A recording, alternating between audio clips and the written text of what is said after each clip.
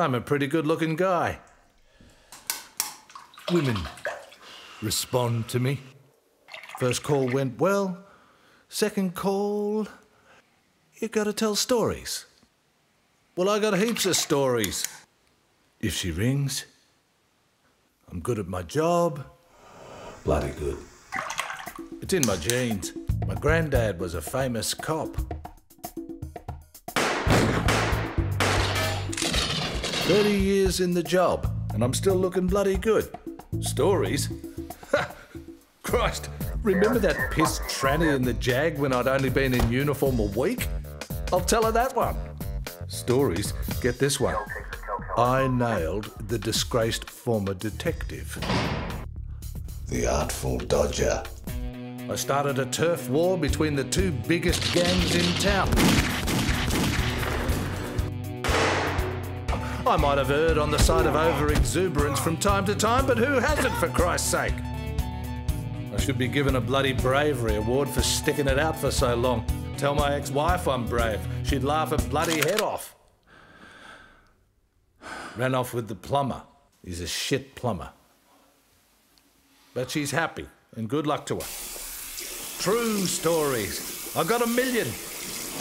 Jesus, I even hauled in Ronnie Biggs as Mrs. for questioning. Where is he, Mrs. Biggs? I'm a good catch. I can fix doors and catch fish. I've got a nice smile.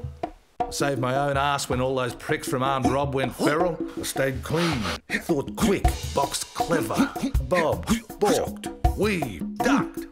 Still got the moves. I like dancing. I used to have a six pack, now I got a slab. I don't stink. I like cats. I hate cats, but women usually like them.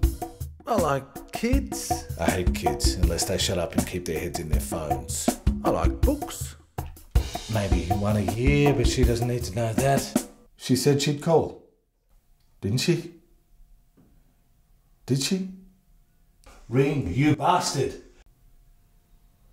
Why don't they?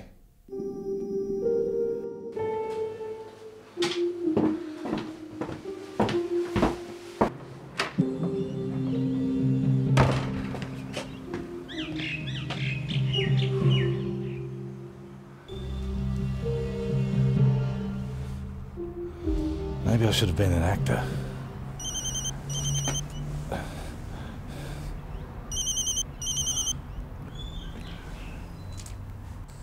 Well, hello. Hello. Sorry, I'm a bit late calling. What's that noise? You alright, mate? He's still there? Hello? Hello? Are you on a tram? Oh no, just dropped the phone. There you go. I'm good. Yeah. You? Yeah, no, good. You okay for tomorrow? Sure am. Oh, great. Six? Great. Your place? Yeah, sounds good. Yep. Yep, I'll be there. Looking forward to it.